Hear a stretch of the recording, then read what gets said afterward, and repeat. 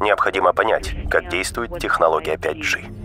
is doing and what they say. В одном из документов Института электроинженерии говорится, что технология формирования направленного луча способна сварить ваши глаза вкрутую, как яйца.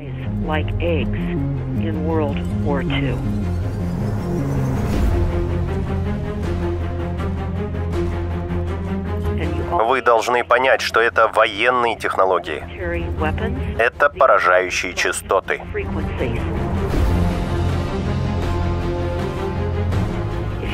И если это будет все, что вы почерпнете, то этого будет достаточно. Это не что иное, как оружие микроволнового излучения.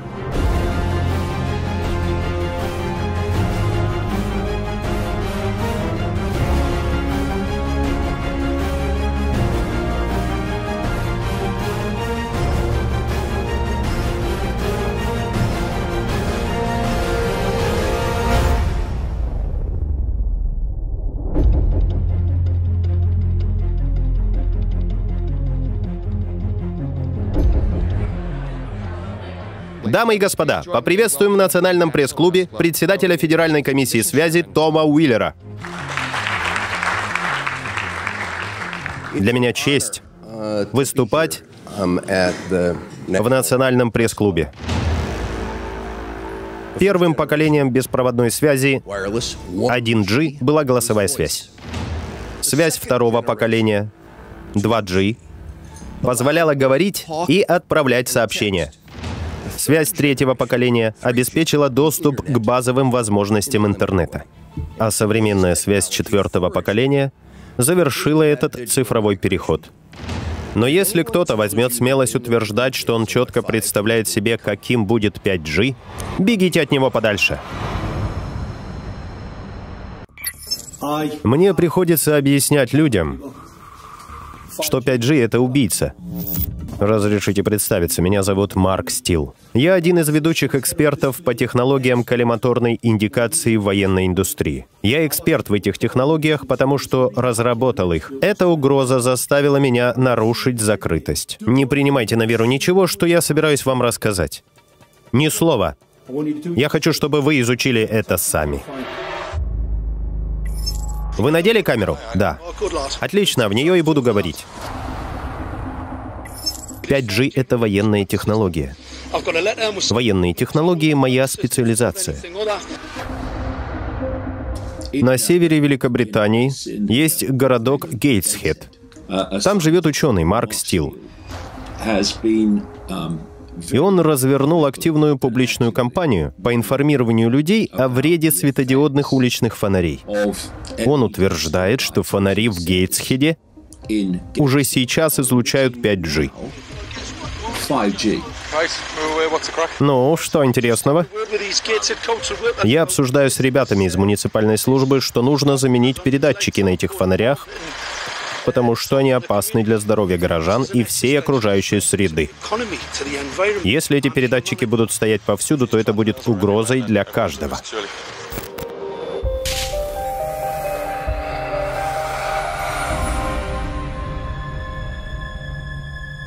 Мало кто ясно представляет себе, что такое 5G. G значит Generation, поколение. В 1980-х появилась первая система передачи сигнала 1G, затем появилась 2G. По мере развития технологии стали появляться более продвинутые системы передач, и устройство антенн становилось все более и более сложным.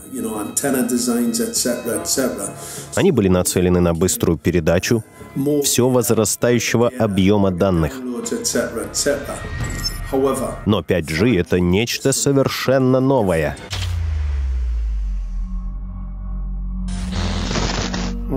Давайте я подробнее расскажу о внутреннем содержимом этих фонарей.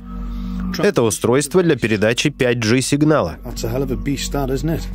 Кстати, страховые компании отказываются страховать риски, проистекаемые из возможного вреда для здоровья людей от электромагнитного излучения устройств 5G. More detail about the transmitters and the chipsets. Смотрите, вот это контрольная система, которая маскирует под собой антенну. Видите, это и есть антенна с фазированной решеткой. Также мы видим много микрочипов. И все это в уличных светодиодных фонарях. Что там говорили в муниципалитете Гейтсхеда? Лично я думаю, что нужно отправить этих умников еще поучиться в школе. Или, может, даже прямиком в тюрьму. Наверное, тюрьма здесь уместнее. Вот вам, ребята, и оборудование для 5G. Необходимо учитывать роль электричества в природе. Человечество не может продолжать развиваться в атмосфере, со всех сторон пропитанной электрическими потоками и излучением. Это повлияет на процесс эволюции человека. Электричество и особенно электромагнитное излучение будет воздействовать таким образом, что люди не смогут воспринимать те новости, которые станут все оперативнее получать. Их умственные способности будут притупляться. И этот эффект уже заметен сегодня. Люди воспринимают поступающую информацию гораздо хуже, чем всего несколько десятилетий назад. Рудольф Штайнер, 1924 год.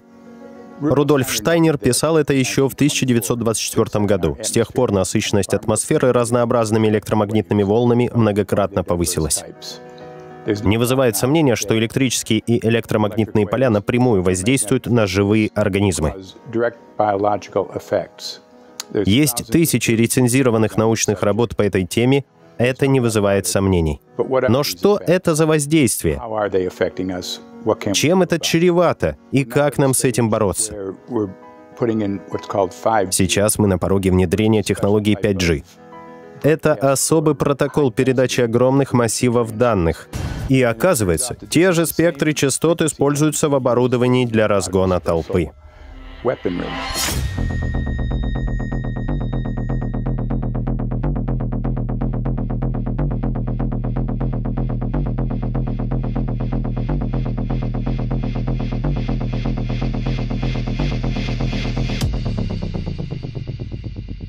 Отличительная черта 5G — это повышенная плотность.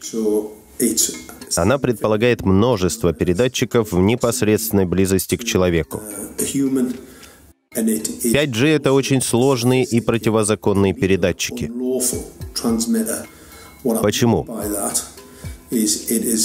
Это мощная диэлектрическая линзовая антенна, которая позволяет 5G-передатчикам has to do составлять трехмерную карту вашего жилища. home.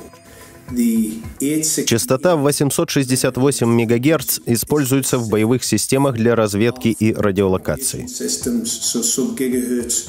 Сигнал частотой до гигагерца обладает способностью проникать сквозь бетонные стены. Это позволяет собирать информацию и наводить на цель. Фазированные решетки используются в боевых радарах. Они позволяют эффективно идентифицировать цель и фокусировать луч на цели. В том числе эта технология позволяет охотиться и за людьми. Допустим, вы судья или адвокат в очень щепетильном, неоднозначном деле, и ваша жизнь может оказаться под угрозой. И эти антенны, которые уже сейчас вмонтированы в уличные фонари под видом системы управления, на самом деле являются боевым разведывательным оборудованием. Первое устройство с фазированной решеткой называлось «Мамонт» и использовалось немцами во время Второй мировой войны для обнаружения самолетов противника. Конечно, с тех пор технологии ушли далеко вперед.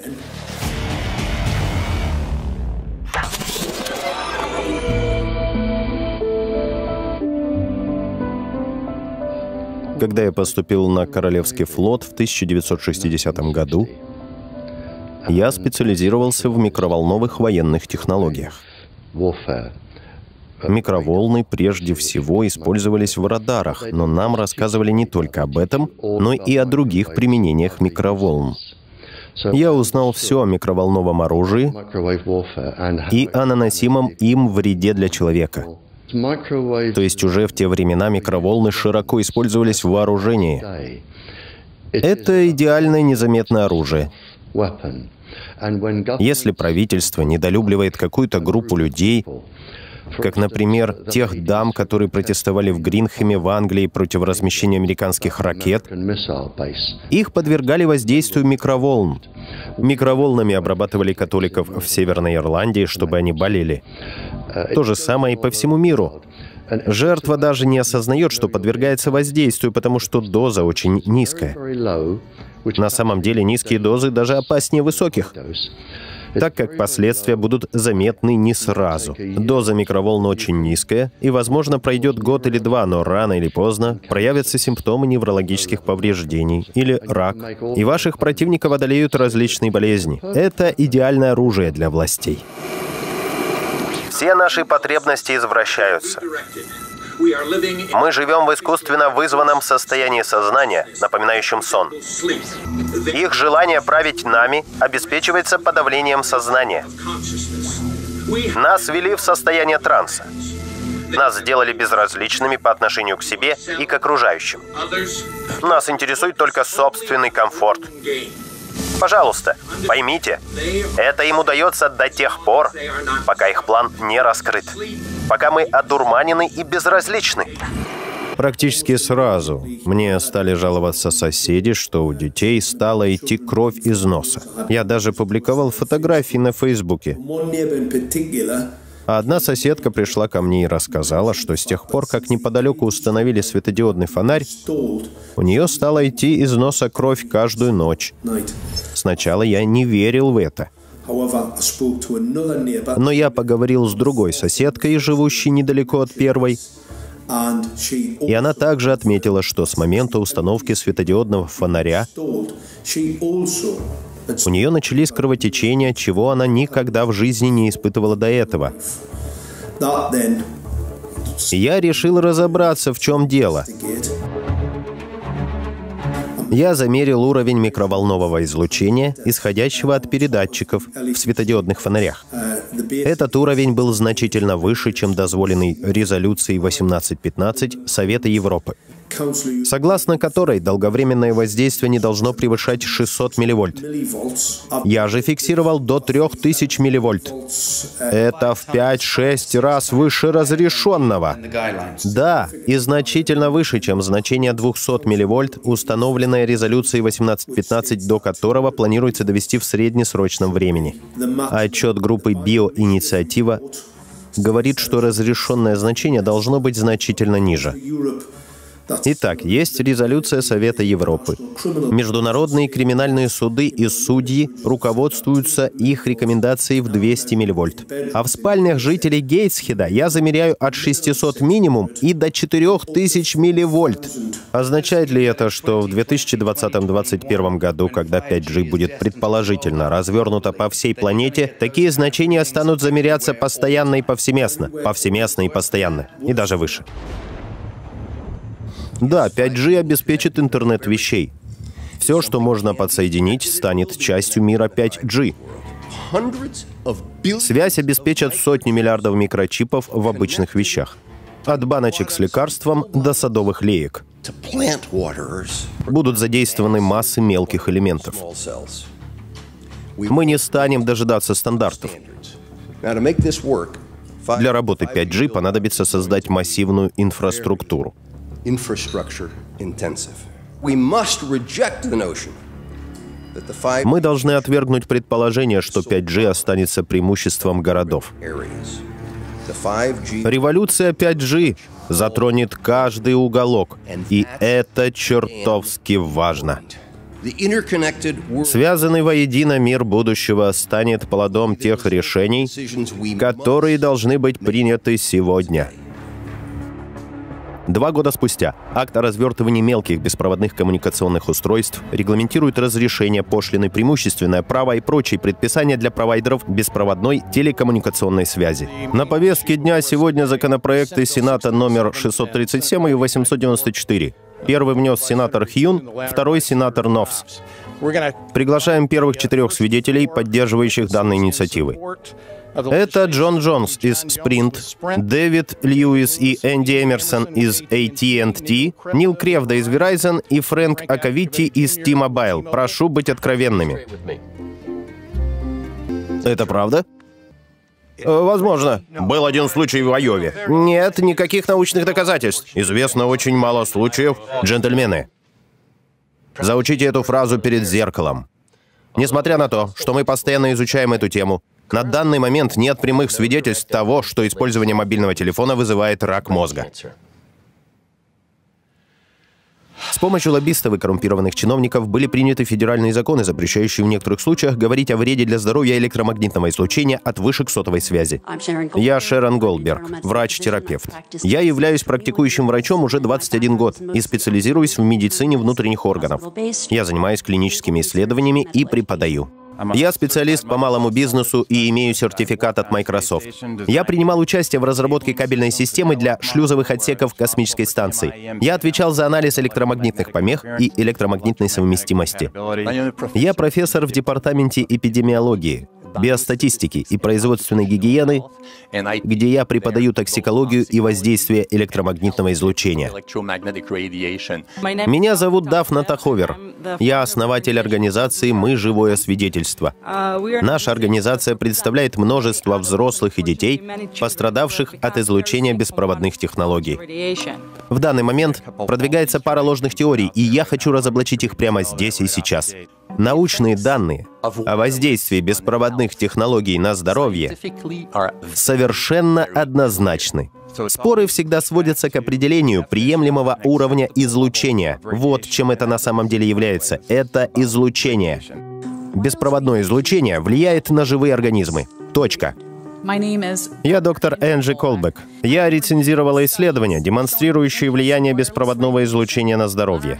Есть тысячи исследований, доказывающих следующие неблагоприятные воздействия излучения беспроводных технологий. Это рак, оксидативные повреждения, повреждения и разрушение ДНК, потеря памяти, головокружение, беспокойство, спутанность сознания, головная боль, кровотечение, когнитивные нарушения, изнеможение. Есть данные о повреждениях ДНК и о кардиомиопатии, что является предвестником сердечной недостаточности. Потеря памяти разной продолжительности, снижение концентрации и реакции, вплоть до непроизвольных спазмов мышц, вызывающих смещение челюстей и позвонков. Рак груди внезапно обнаруживается у женщин, не имеющих генетической предрасположенности. Нарушение иммунной функции, изменение уровня протеинов стресса, влияние на репродуктивную функцию. Есть десятки и десятки исследований, без сомнения доказывающих влияние излучения на сперму. Если вы перестанете носить телефон в кармане, сперма восстановится за 3-4 месяца. Но повреждения ДНК в сперме никуда не денутся, это непоправимо. У жены бывшего губернатора Индианы диагностировали глиобластому. Та же опухоль была у Теда Кеннеди и у Джона Маккейна. Вы видели шрам у Джона Маккейна? Это шрам от операции по удалению опухоли в мозге. У Леброна Джеймса, одного из наших спортсменов, обнаружили опухоль слюнной железы. Это еще одна опухоль от излучения телефона. Но вы вряд ли слышали об этом, потому что вскоре после этого Samsung заплатил ему, чтобы он стал их представителем. Мы наблюдаем рост количества опухолей мозга, рост заболеваемости болезнью Альцгеймера и всеми неврологическими болезнями, боковым амиотрофическим склерозом, болезнью Паркинсона. Все эти заболевания связаны с низкодозовым энергетическим воздействием. Речь идет о круглосуточном и повсеместном воздействии на весь наш организм. От излучения будет невозможно укрыться. И наши исследования показывают, что, возможно, иммунная система выдержит какое-то время, но потом ослабнет. Затем излучение будет повреждать клетки на глубоком уровне. И что случится тогда? Это данные из рецензированных работ, а не просто досужие домыслы кучки ипохондриков. Это несет нам реальные проблемы. Если изучать рецензированную литературу на PubMed, спорить будет не о чем. Эти проявления наблюдаются у всего живого – растений, животных, насекомых и микробов. Говоря о 5G, нет сомнений в реальности подобных биологических проявлений. Они очевидны. Научные данные настолько неоспоримы, что можно быть уверенным в том, что стандарты для предотвращения вреда для здоровья неадекватны. Перед тем, как развертывать 5G, необходимо измерить количество излучения, которому подвергаются сегодня люди. Как известно, существует четыре разновидности вредных для здоровья человека электромагнитных полей. Радиочастотное излучение, магнитные поля, грязное электричество и электрическое поле.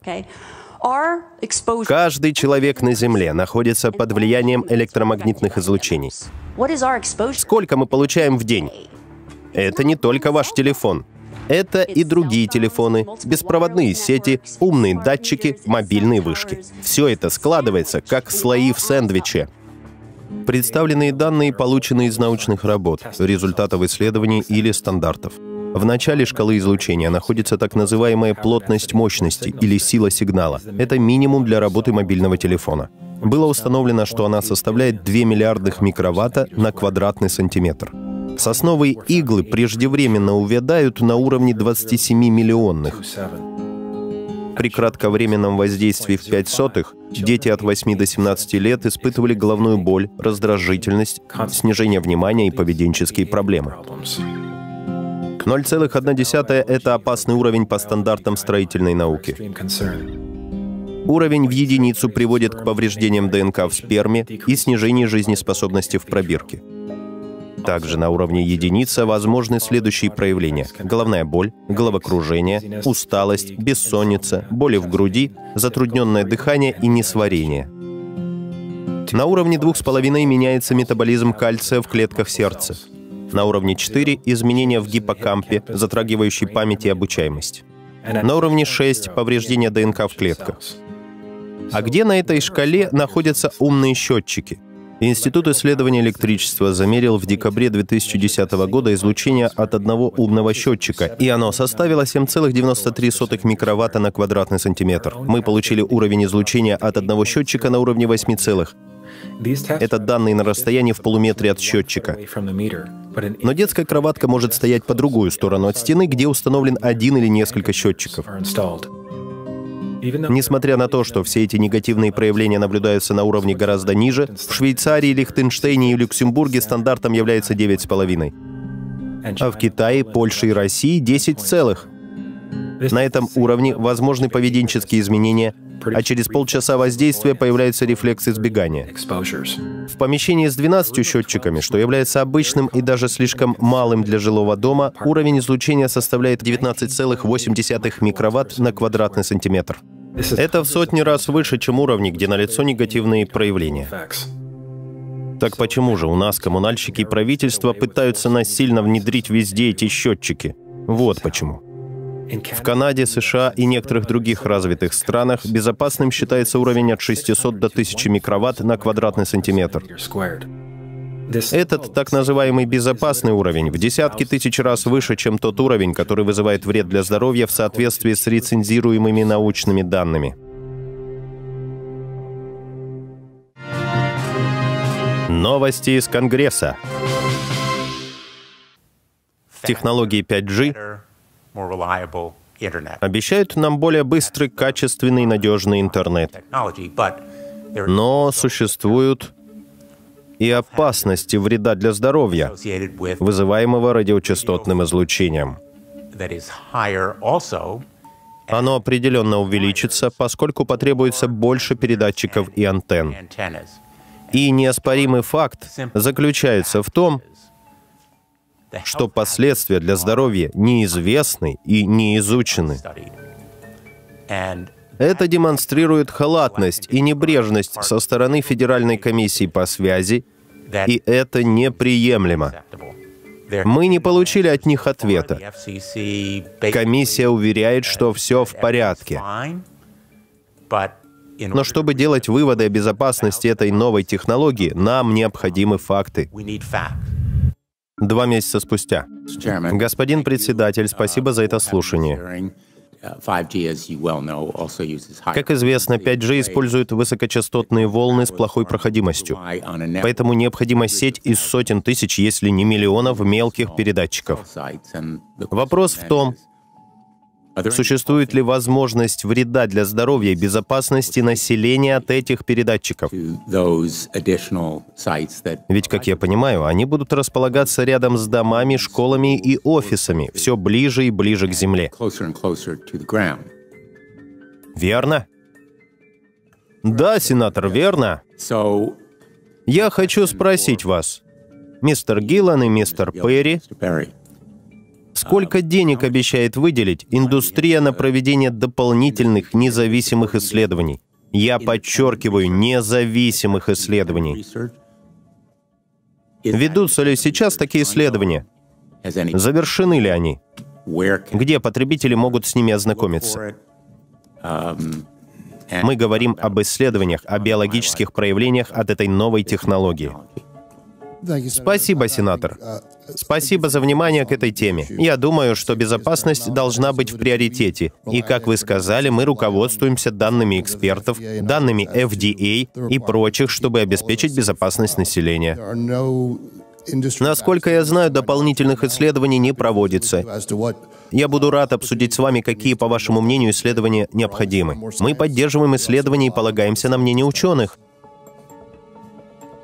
Итак, ответ на мой вопрос о сумме финансирований — это ноль. Я обязательно проверю это для вас, сенатор, но, насколько мне известно, наша отрасль не спонсирует на данный момент исследований. А слышал ли кто-нибудь из вас о готовности отрасли поддержать и спонсировать исследования, чтобы выявить воздействие на здоровье населения? Нет, я не слышал. Так что, действительно, никаких исследований не проводится? И мы вот так просто идем вслепую, не уделяя внимания безопасности и здоровью? Спасибо, председатель. Нельзя более слепо доверять утверждениям о том, что беспроводные технологии безопасны. Вы дипломированный врач? Да, у нас нет врачей в комитете. Как нам относиться к утверждениям Американского общества онкологии о том, что нет свидетельств опасности этого продукта? У многих организаций имеются конфликты интересов. Расскажите вкратце, что вы понимаете под конфликтом интересов. Один из основных аспектов, на который следует обратить внимание, это источник финансирования. Проводится огромное количество спонсируемых исследований теми людьми, которых нанимают, чтобы они ничего не обнаружили.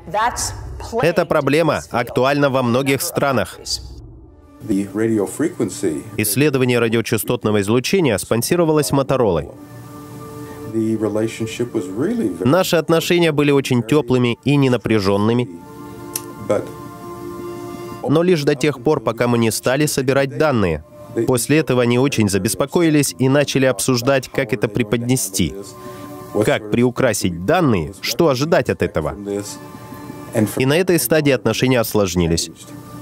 Мы видели, что Моторола пытается повлиять на нашу работу, указывать нам, что делать, как писать обзоры, что говорить в этих обзорах, о чем писать в статьях, как проводить исследования, не делать того, а делать это. Это было неприемлемо.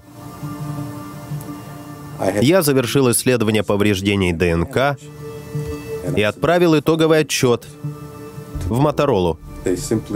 Они не приняли мою интерпретацию исследования и усомнились в моих научных компетенциях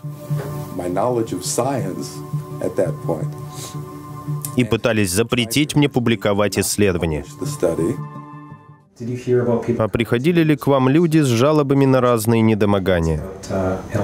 Мы знали о жалобах на недомогание от излучения умных счетчиков и решили проверить это, замерив энергетическое поле у людей.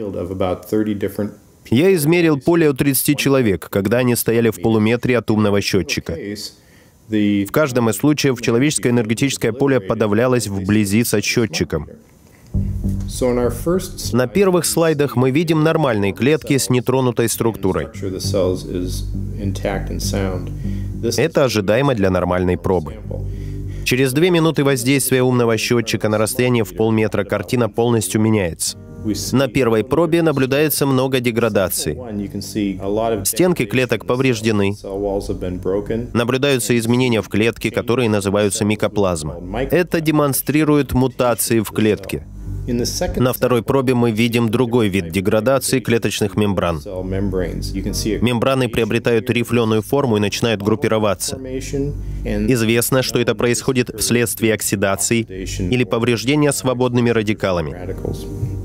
Когда мы брали пробу у третьей испытуемой, ее пришлось оттащить от счетчика через 45 секунд, так как она пожаловалась на сильную головную боль.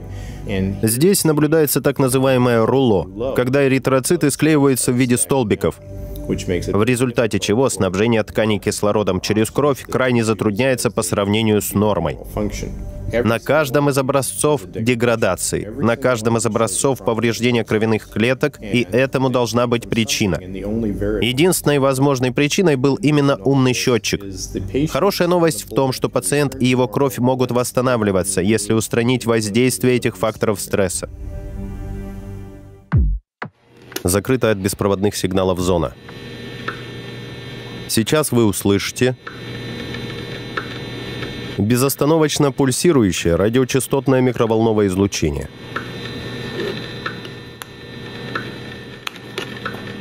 Умного фитнес-браслета Fitbit.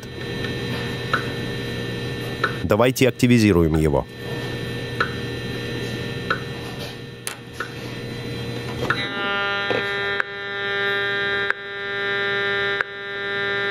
Прибор зашкалило от его пульсирующих сигналов. Энергетическое оружие направленного воздействия. Некоторые проявления можно проанализировать на таких обыденных вещах, как Wi-Fi. Его частота в 2,4 ГГц находится в том же диапазоне, что и у микроволновых печей. Этот спектр называется радарным, потому что, по сути, это и есть радар. Частота 2,4 ГГц интересна тем, что такие микроволны не полностью поглощаются в воде. Но на этом уровне возможно полное проникновение, потому что, будь это не так, то внутренние слои продукта не смогли бы разогреться. Это что касается Wi-Fi. Если рассмотреть 5G, то 60 ГГц — это частота оборудования для разгона толпы, чтобы держать людей подальше. На частоте 60 ГГц происходит поглощение энергии волны молекулы кислорода, которая состоит из пары атомов, связанных общими электронами. И поскольку мы дышим кислородом, бомбардировка на частоте 60 ГГц может нарушить степень поглощения кислорода в нашем теле, подрывая основы жизнедеятельности.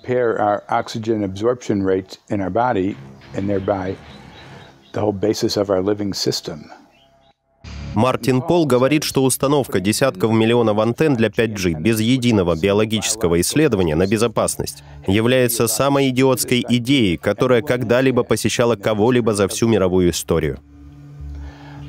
Эту тему нам помогают исследовать эксперты по волновым военным технологиям и по биологическим последствиям для человека. Пожарные страдают от когнитивных нарушений от близости этих устройств. Эти устройства запрещены возле школ во многих странах, потому что угнетают когнитивные функции. Давайте взглянем на это в свете того, что сказал Рудольф Штайнер еще в 1924 о том, что даже обычное радио негативно воздействовало на когнитивные способности людей. Они могли слушать новости со всего света, но не могли адекватно осмысливать их из-за воздействия радиоволн и электричества. Нельзя не заметить зловещий подтекст у происходящего. Сети пятого поколения будут не похожи на предыдущие. Будет применяться другая технология — технологии миллиметровых волн из арсенала военных. Достаточно изучить отчеты DARPA, специального подразделения Министерства обороны, и зарегистрированные ими патенты, чтобы оценить все возможности этих технологий. Их можно применять для психологического воздействия, для разгона толп с помощью излучающих установок для шоковых воздействий. Все это будет возможным с 5G. Любое воздействие из области военного применения основанная на электромагнитных принципах, станет возможным с 5G. И это охватит все население в стране. Леди и джентльмены, это президент Соединенных Штатов. Добрый вечер, сограждане американцы. Роль правительства в том, чтобы не позволить военно-промышленному комплексу приобрести неподобающее влияние активным или пассивным путем. Возможность для катастрофического усиления их власти реальна. И мы не должны позволить им ущемлять наши гражданские свободы и демократические процессы.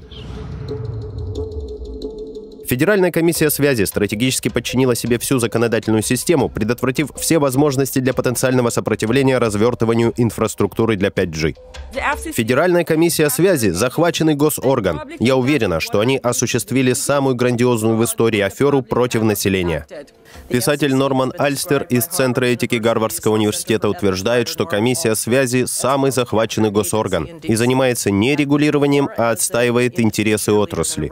Это особенно очевидно сегодня на примере 5G. Несмотря на серьезные опасения насчет безопасности, они распространяют ложные сведения.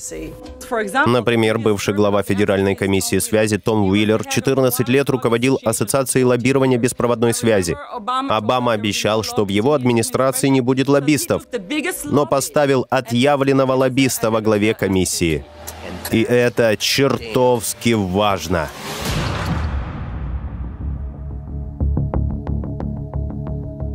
1993-м комиссия связи поддержала стандарты для предела допустимого электромагнитно-волнового излучения Ассоциации Институт инженеров электротехники и электроники. С какой стати мы должны руководствоваться мнением инженеров?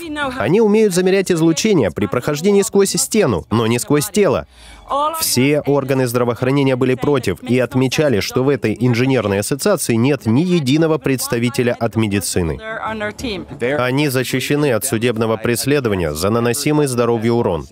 А законодательно установленные лимиты выше, чем научно доказанные значения, при которых наблюдаются негативные последствия для человека. Нормы комиссии связи были разработаны для кратковременных воздействий от 6 до 30 минут, в зависимости от типа воздействия, телефон или внешнее воздействие. И они совершенно неадекватны в свете всех новых биологических проявлений, которые ясно описываются в отчете биоинициативы. Здесь присутствуют многие представители общественности, имеющие серьезные опасения по поводу здоровья. Если одна из ваших компаний решит установить одно из таких устройств на столбе в 15 метрах от их дома, какие действия они смогут предпринять, чтобы потребовать их переноса в другое место?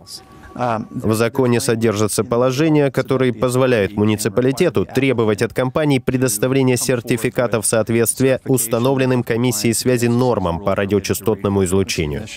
В ответ на любой отказ в выдаче разрешения они будут указывать на установленные комиссией связи нормативы. Не управление по охране окружающей среды, не CDC, чьей прерогативой является здравоохранение, а комиссия связи, где правят бывшие сотрудники телекоммуникационной индустрии. Это все равно, что поставить лесу охранять курятник. Общеизвестно, что страховые компании отказываются страховать риски от воздействия излучения. Все телекоммуникационные компании в мире предупреждают инвесторов о потенциальных расходах в связи с реальными или предполагаемыми рисками от электромагнитного загрязнения от их продуктов. Любопытно также, что они предупреждают инвесторов о том, что не сообщают об этом своим клиентам. Они держат это в тайне, чтобы не потерять деньги. То есть мы пользуемся технологией, которая может нанести нам огромный вред, и инвесторы знают об этом. Но их беспокоит только перспектива потерять деньги, а не причиняемый здоровью вред. Во-первых, необходимо задуматься, а почему они не застрахованы. Это не потому, что они предпочли самострахование. Страховые компании отказали им в страховании, потому что они осознают степень риска. Что и крупные страховые компании отказываются страховать телекоммуникационную индустрию? Есть, собственно, страховые компании, есть вторичные страховые компании, которые занимаются страхованием самих страховых компаний. Предположим, страховая компания застраховала Verizon. И если она не может выплатить возмещение, то в дело вступает вторичная страховая компания, такая как Lloyds of London. Да, верно, ведущие компании Lloyds of London и Swiss Re. Они распорядились не страховать компании беспроводной связи. Вот поэтому они и не застрахованы. Это о многом говорит. Поэтому они и беспокоятся о том, чтобы предотвратить судебные иски. А как предотвратить судебный иск? Для этого и существует раздел 704.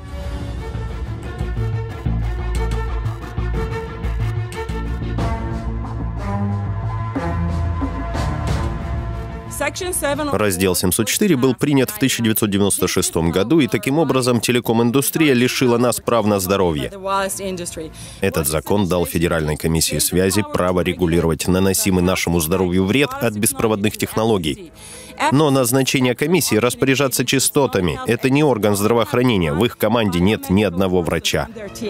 Также раздел 704 предусматривает и лишение местных властей прав регулировать размещение вышек сотовой связи по соображениям охраны здоровья.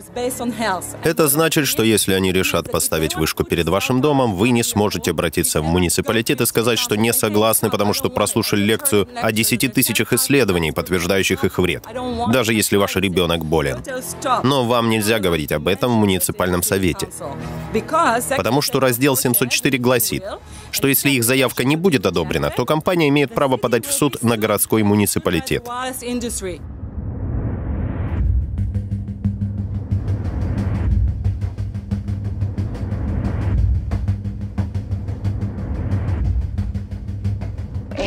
Крупное исследование обнаружило связь между мобильными телефонами и раком. Это первое официальное исследование, показавшее связь между мобильными телефонами и раком. Федеральное исследование в два десятилетия и в 30 миллионов долларов засвидетельствовало связь между излучением от мобильных телефонов и раком мозга. Что такое NTP? Я не раз слышал об этом исследовании. Это было дорогостоящее исследование на крышах и мышах, которое должно было продемонстрировать, что излучение не имеет иного воздействия, кроме термального. Но результат был прямо противоположен. Непосредственно перед этим были опубликованы результаты еще двух крупных исследований с теми же выводами. Это исследование было устроено таким образом, чтобы его нельзя было опровергнуть, чтобы нельзя было подкопаться. Вот почему им понадобилось целых 14 лет. Вот как они пытаются подавить дискуссии о вреде здоровью. А зачем им это, если, как предполагается, здоровью не наносится никакого вреда? Проще говоря, Федеральная комиссия связи не подготовлена, не в состоянии и не желает изучить проблему безопасности 5G на пороге его внедрения. Они лишь отмахиваются заезженными штампами, давно развенчанными наукой. Ситуацию усугубили директивы комиссии и многочисленные законодательные акты в пользу индустрии, принятые на разных уровнях между 2016 и 2018 годом. Это лишило местные и прочие власти какого-либо права слова в вопросах размещения оборудования в самый критический момент. Когда многие годы назад были проведены первые исследования, никто еще не знал о важности микробиома и его роли для функционирования иммунной системы. Еще меньше было известно о микробиоте, живущей в нашем мозге. Эти микробы живут внутри нашего мозга и имеют огромное влияние на его функционирование. Многие скажут, ну и что, какое нам дело до микробов? Чем меньше микробов, тем лучше. Но теперь мы знаем, что это совершенно ошибочно. Микробы абсолютно необходимы нам для развития и функционирования всех органов и систем в организме. Наша иммунная система основывается на микробах в кишечнике. Также и с мозгом, потому что микробы определяют его функционирование. Ученые пробовали выращивать плесневые грибки в клетке Фарадея. И они росли даже несмотря на электромагнитное излучение. Но если убрать клетку Фарадея, то в грибках под воздействием излучения появлялись около 600 известных биотоксинов. Даже слабое электромагнитное поле оказывает влияние на наш микробиом, необходимый нам для жизни. Это истребит микробные ДНК в человеке, которые управляют нашим организмом. Возможно, лабораторные эксперименты и не показали воздействия на человеческий ДНК. Но человеческая ДНК составляет менее 1% от всех клеточных ДНК в организме человека. Все остальное — микробная ДНК. И мы уже знаем, что это уничтожит микробную ДНК. Так что речь идет об уничтожении, так сказать, операционной системы человека. Совершенно верно, лучше и не скажешь.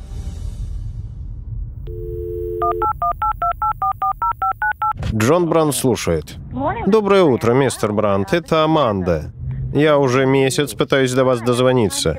Почему вы умалчиваете о химтрейлах?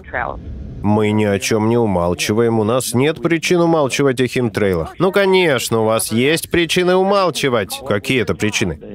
Вот вы, например, лишитесь работы, если расскажете мне о чем-либо. Наверное, это даже небезопасно говорить об этом, учитывая то, на кого вы работаете. Нет, это не опасно. Ну, конечно, опасно. Это не опасно. Вы, как гражданин, можете оставить жалобу. Но ваша жалоба относится к области, которую мы не уполномочены регулировать.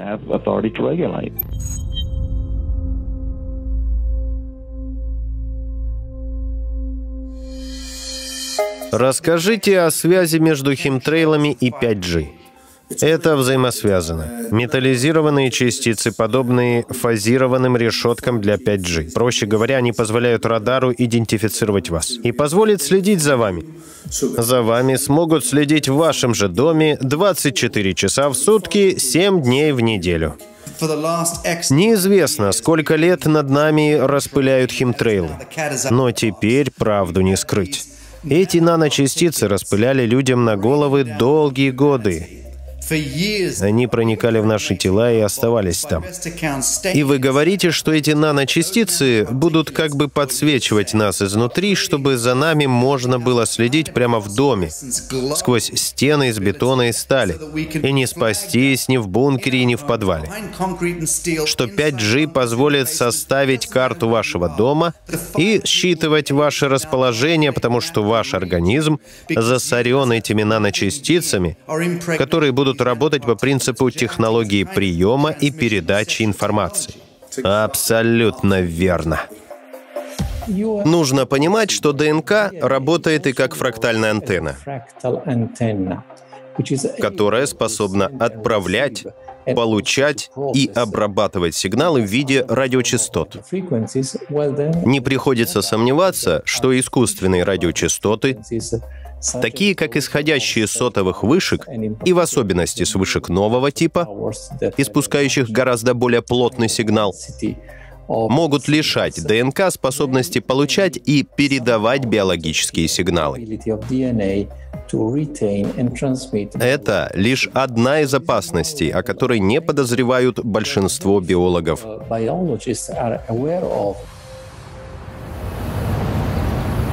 Какие действия предпринимались, чтобы исследовать опасности для здоровья, ради чего здесь и собрались многие из этих людей? Имел ли место диалог? Были ли проведены исследования, оценивающие проблемы такого рода? Возможно, в обсуждении участвовали не все озабоченные законодатели. С вашей точки зрения, вы полагаете, что было достаточно времени для того, чтобы оценить все те данные, которые предоставила противная сторона? Совершенно верно. Я не стал бы поддерживать такую инициативу, в которую бы сам не верил. И как я уже говорил, и как отмечали другие присутствующие сегодня на этом обсуждении, это вопрос экономического развития. Даже мой трехлетний ребенок приходит в негодование, когда мы уезжаем из дома, и он не может пользоваться Wi-Fi. Наш трехлетний ребенок приходит в негодование, когда мы уезжаем из дома, и он не может пользоваться Wi-Fi. Я думаю, что те, кто устанавливает Wi-Fi в школах, должны провести за решеткой всю оставшуюся жизнь.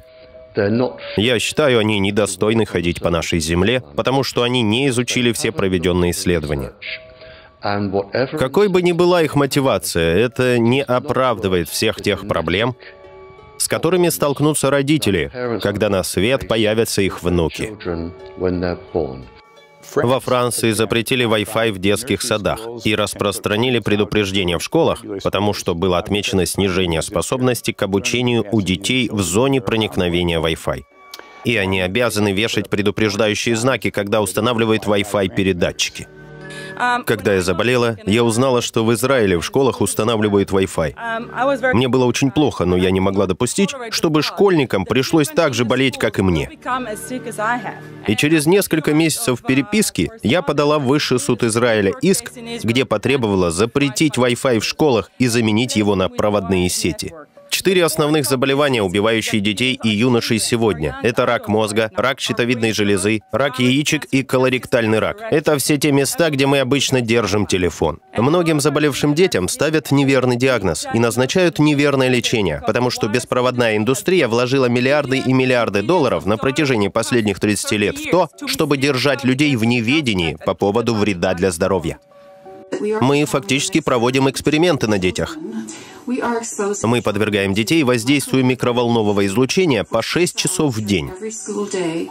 Но долгосрочное воздействие этого излучения на молодых людей и даже на взрослых никак не изучалось.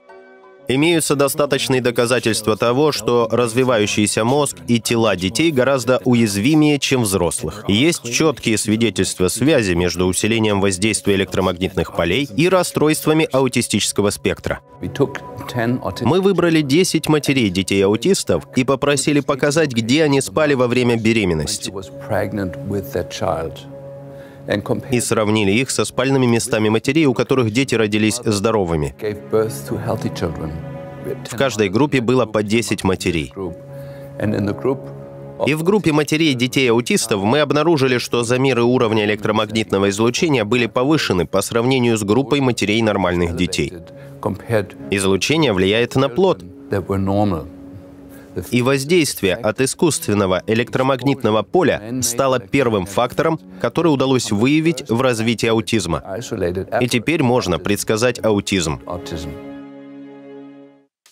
Пятое поколение беспроводной связи, или 5G, разворачивается сейчас во всех странах мира без каких-либо исследований на безопасность. Я повторю, без исследований на безопасность. И многие ученые, врачи и экологические активисты говорят, что это необходимо остановить. Потому что наука сходится в оценке воздействия беспроводного излучения. Это рак, опухоли сердца и мозга, повреждение ДНК. Это излучение связано с бесплодием, аутизмом, болезнью Альцгеймера и прочим. И верите ли, все перечисленные мной проявления уже налицо, даже с сегодняшними технологиями. Во-первых, нужно понимать, что все те электромагнитные излучения, которым мы уже подвергаемся, наносят известный вред здоровью. Но 5G из-за используемых для него частот и из-за чрезвычайно высокой частоты пульсаций представляет гораздо более серьезную угрозу нашему здоровью, чем все то, с чем мы уже имеем дело. Наше здоровье под серьезным ударом. Мы говорим не только об интенсивности, но также о частоте и высоком уровне пульсаций. Огромное количество научных исследований показывает, что пульсирующие с высокой скоростью электромагнитные колебания обладают более высокой биологической активностью, чем не пульсирующие. Каждое беспроводное устройство связи работает с пульсацией, но эта проблема совершенно игнорируется отраслью. Проблема с 5G в том, что планируется десятки миллионов антенн по всей стране, и все это без единого исследования на безопасность. Вы хотите сказать, что мы, потребители, являемся подопытными крысами, потому что они не удосужились провести предварительные исследования на малых группах? Да, это не намек, а прямое утверждение. Да, это так. Больше всего меня беспокоит даже не рак. Меня беспокоит проблемы бесплодия из-за качества спермы. Знаете ли вы, что одна из шести американских пар не в состоянии зачать ребенка тогда, когда планируют? Многие ли знают, что в прошлом году рождаемость в нашей стране показала самое значительное падение в современной истории на 3% за год? Если посмотреть на сперму мужчин, часто пользующихся телефонами, обычно сперматозоиды двигаются по прямой. Но если подвергнуть их воздействию излучений, подобных мобильным телефонам, они начинают двигаться по кругу.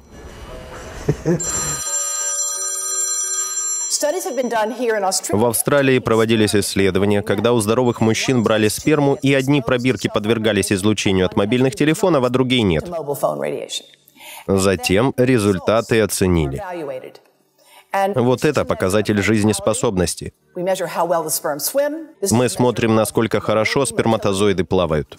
Это показатель мобильности и подвижности. А это показатель митохондриальных повреждений ДНК. Данные абсолютно неопровержимы. Мобильные телефоны ухудшают количество и качество спермы.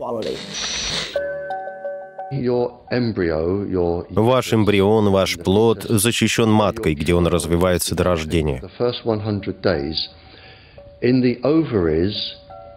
Но яйцеклетки в яичниках не имеют такой защиты, поэтому они больше всего рискуют пострадать от излучения. А в первый месяц или около того женщина еще не подозревает о беременности и не предпринимает мер предосторожности. И в этом основная опасность. Вы рожаете девочку, а ее яичники уже могут быть поражены. Возможно, она будет здорова, а возможно, будет иметь генетические аномалии. Но ее яичники в наибольшей опасности. Когда ваша дочь вырастет и забеременеет, одна из этих яйцеклеток будет оплодотворена. Поэтому наибольший удар придется на ваших внуков. Вот где все это проявится максимально.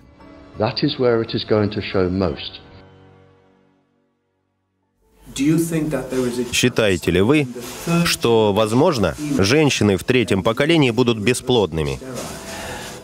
Не в третьем, а в пятом поколении, что для человека наступит примерно через 150 лет.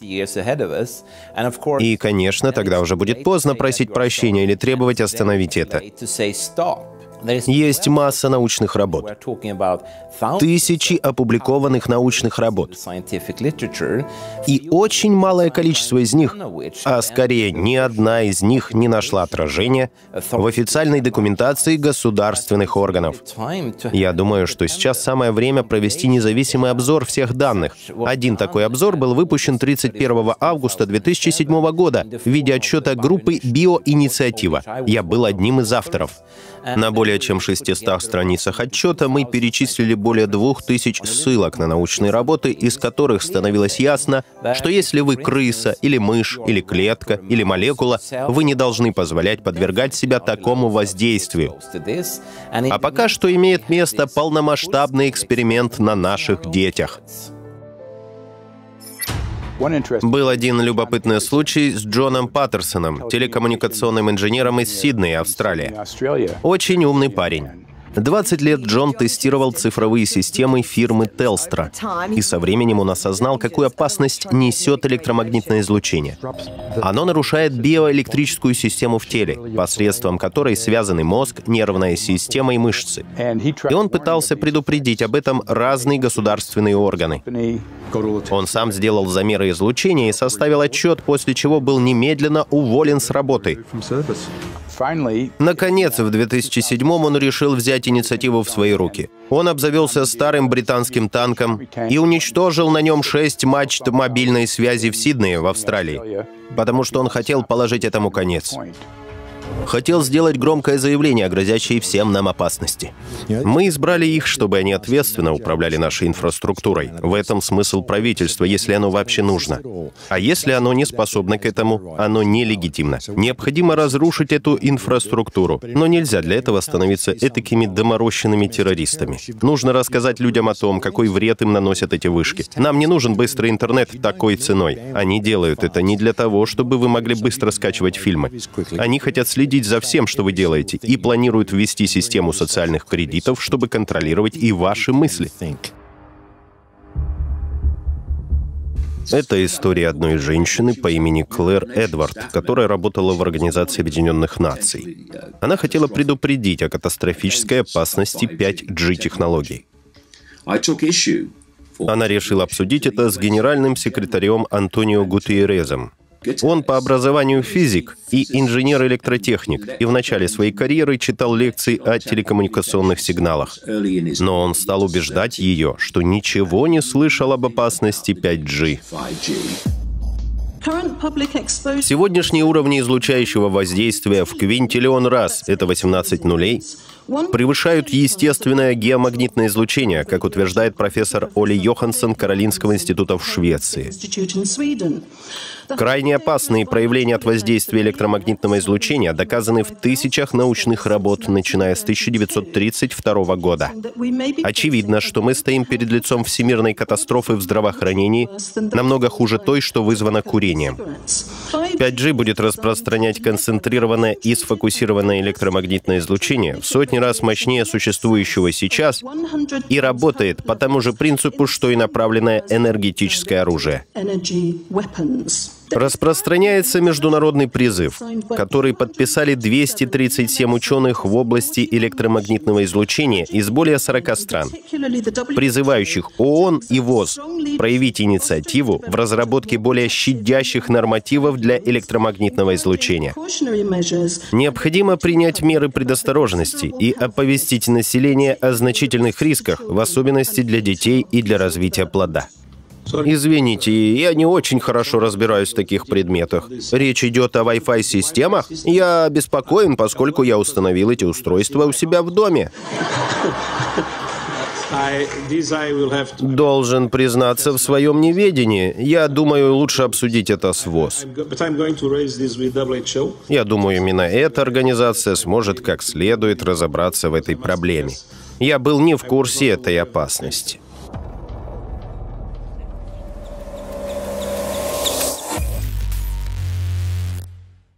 Когда в 1996 году был принят акт о телекоммуникациях, в нем было положение, которое запрещало муниципалитетам учитывать потенциальную опасность для здоровья при выдаче или невыдаче разрешений на установку вышки.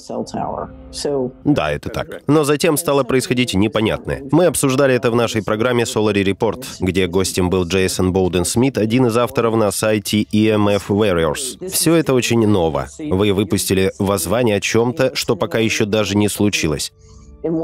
Но это не пройдет незаметным, а повлечет разительные изменения. Колоссальные изменения. Слова «захват» и «бомбардировка» не станут преувеличением. Вместо прежних сотовых вышек на расстоянии мили или двух от вас, которые до этого обеспечивали вам связь, антенны будут в каждом квартале. Некоторым несчастным достанется антенна на электрическом столбе в 20 метрах от дома.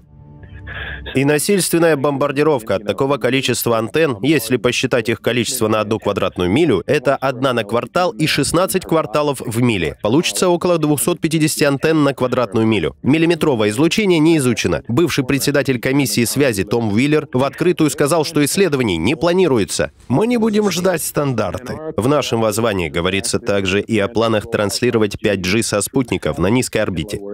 20 тысяч спутников обеспечат покрытие 5G сигналом каждого квадратного метра планеты. Six, five, four, three, two, one. День за днем политики и лидеры убеждали американцев в том, что полет первого советского спутника поставил всю страну под угрозу.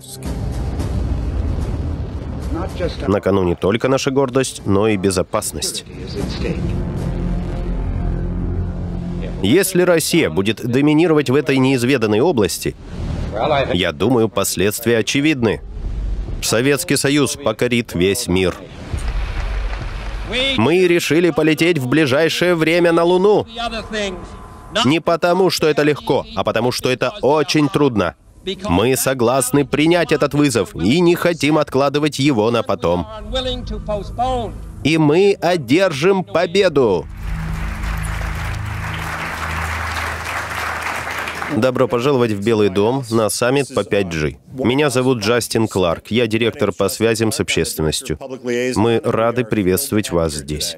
Я рад, что сегодня здесь присутствуют ведущие представители отрасли, члены Конгресса и Сената, представители Белого дома и сотрудники комиссии связи. Скажу сразу, во-первых, не думайте, что мы, правительство, в чем-то разбираемся. Согласна, я ничего не знаю. На новом посту я уже привык произносить речи по темам, в которых, откровенно говоря, ничего не смыслю. Нам нужно больше сотовых вышек в Коннектикуте, в моем штате. Как глупо. США лидируют благодаря частному сектору, работе комиссии связи и правительству в целом. Китай, Южная Корея и многие другие страны борются за звание первопроходцев. Мы намерены первыми запустить 5G и насладиться плодами быстрой и надежной беспроводной связи. Надеюсь, мы побьем Китай. И добьемся гига, гига, гигабитных скоростей без задержек. Гонка началась. Нет сомнений в том, что погоня за 5G — это спринт, а одержать победу в этой международной гонке — ключевая задача. Нельзя упускать из вида значение победы в гонке за 5G для национальной безопасности. Сегодня речь о том, как важно первыми добиться 5G. Мы должны приложить все усилия, чтобы победить в гонке к 5G в интересах Америки. Мы говорим Америка и 5G превыше всего. Наша стратегия называется «Быстрый путь к 5G», чтобы обеспечить Америке превосходство в технологиях 5G.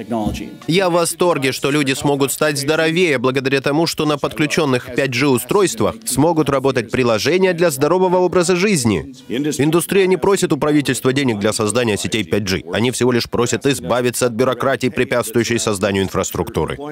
Нельзя позволить, чтобы бюрократия лишила 5G будущего.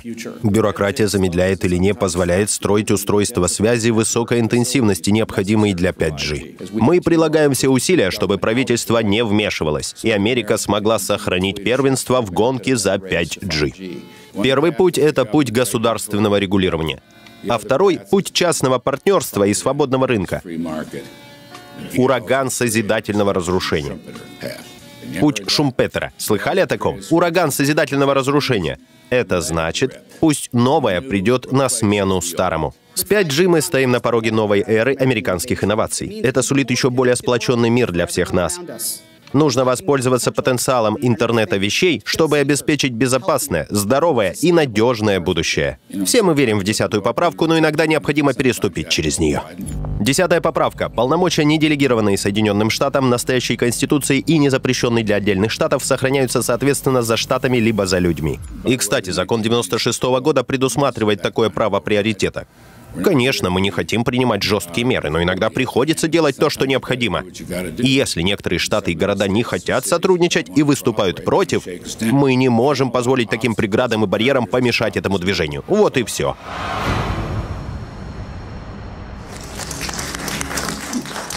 Так случилось и в Канаде. Я работал там с несколькими активистами, которые любили говорить, «Мы же одержали победу. Комиссия по службам связи дала нам право отказа». На что я отвечал им, они просто избавились от смутьянов. Это не позволит решить проблему. Мы должны требовать тотального отказа. Право отказа — это согласие платить, чтобы не причинили вреда. То есть право отказа — это согласие на шантаж. Такое право отказа подразумевает, что если я не заплачу, вы имеете право навредить мне. Это не решение. Это приказ, который насаждают компании, не желающие ничего слушать, и правительство, не желающего принимать ответственность. Это делается посредством сговора, задуманного таким образом, чтобы лишить граждан и общины их личностных прав по всей стране и по всему миру.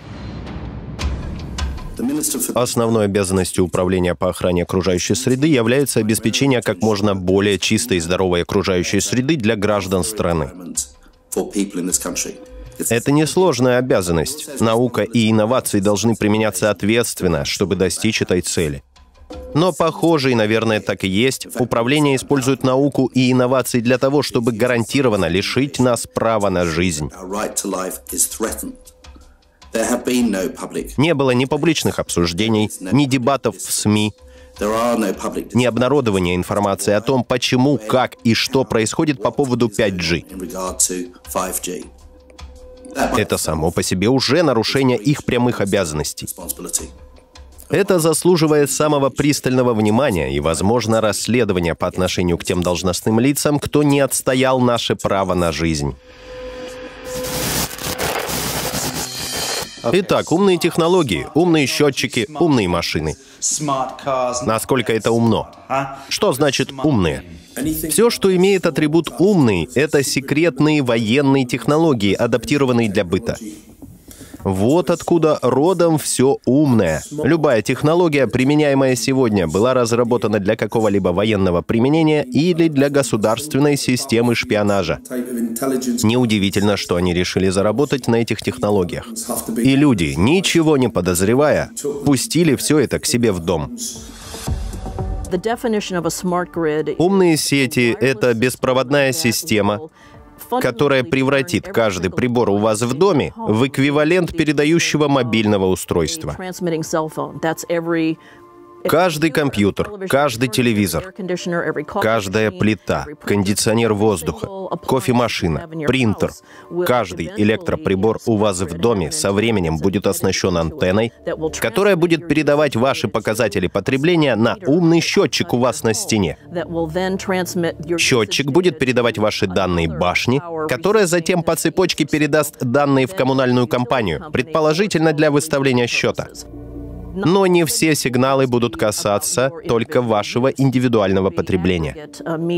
Будут также агрегатные счетчики, которые будут рассылать сигналы от дома к дому в районе, собирать все индивидуальные данные и отправлять их в компанию. Конечная измерительная система, передающая все эти данные, будет распространять радиочастотный сигнал по многу раз в секунду, что разительно повысит радиочастотную нагрузку на каждый дом. Здесь вы видите кучку тли на листе апельсинового дерева. Вскоре после того, как несколько лет назад в аэропорту неподалеку установили радары, я стал замечать, что через каждые несколько секунд все тли вдруг в унисон напрягались и начинали как бы пританцовывать. Наведя справки, я узнал, что интервал от танца к танцу в точности совпадал с частотой вращения роторного устройства радара в аэропорту. А он расположен примерно в 22 километрах отсюда. Антенные решетки формируют управляемый луч, который помогает концентрировать энергию. Лучи направляются на пользователя. Что значит мимо? Множественный вход, множественный выход. Британское правительство планирует установить 400 тысяч антенн, чтобы 5G достало вас в каждой расщелине в любом районе страны, чтобы даже трактора могли ездить сами. Но эти передатчики являются радарами, радарами с фазированной решеткой. Этот сигнал покроет всю территорию страны и истребит всех насекомых-опылителей, каждое живое существо. Домашние животные станут бесплодными, живые организмы в почве будут уничтожены. Почва станет неплодородной, фермеры обанкротятся, и целые общины окажутся под угрозой. Общины окажутся под угрозой. Если мы истребим пчел и не сможем выращивать пищу, у нас будут серьезные проблемы.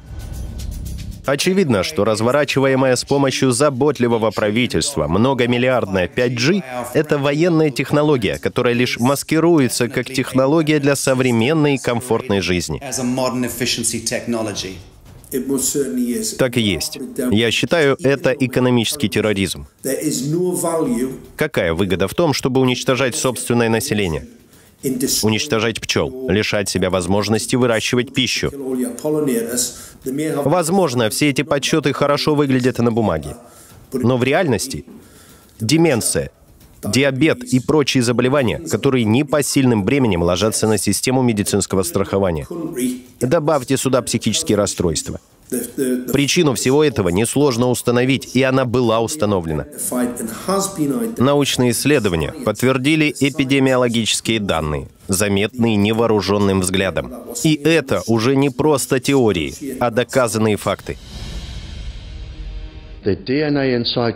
Ваша ДНК, митохондриальная ДНК, передается к вам в неизменном виде от вашей матери, а ей от ее матери и так далее, к истоку человеческой расы во времена каменного века. Она не меняется. И в неизменном виде будет передана вашим детям. Это значит, что если ее повредить, то ваши дети будут иметь генетические повреждения, а затем и их дети, и так далее по цепочке.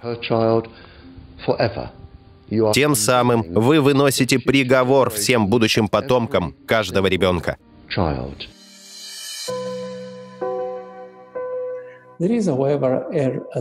Возможно, еще есть свет в конце туннеля. Есть луч надежды. Благодаря принципам биологического квантового перепутывания мы поняли, как можно применить его в области биологической медицины. И теперь мы можем переносить информацию из микробного ДНК в человеческий ДНК.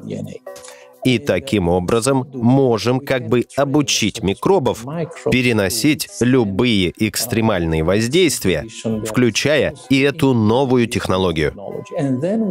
И затем мы можем обучить их передать эту выносливость в наш ДНК. Предположим, что у нас есть веские причины беспокоиться по поводу внедрения этих и прочих новых технологий.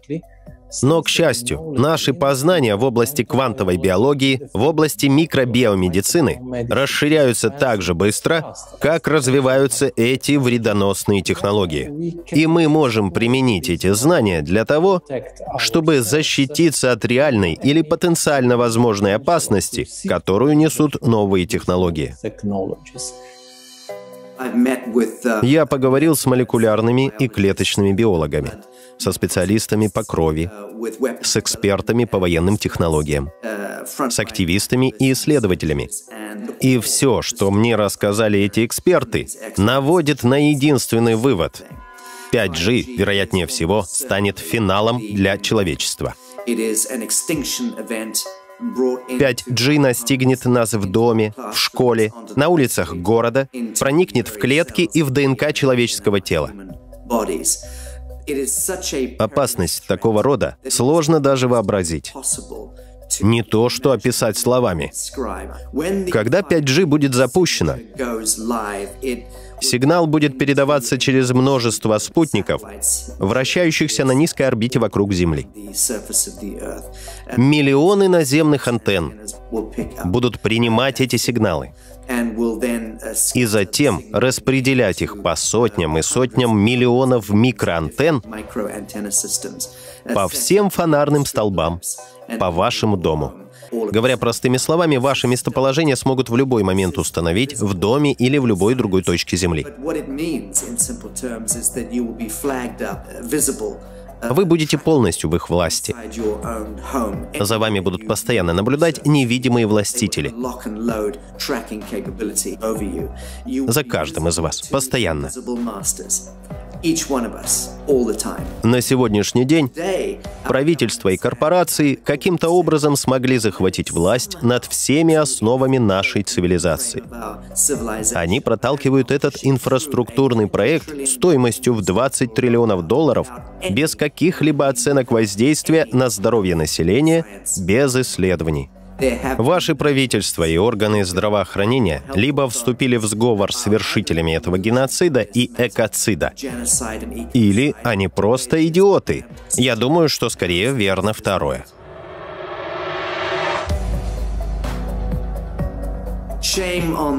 Позор всем технологам и электронщикам, продвигающим эти технологии в наши дома, наши офисы, на наши улицы.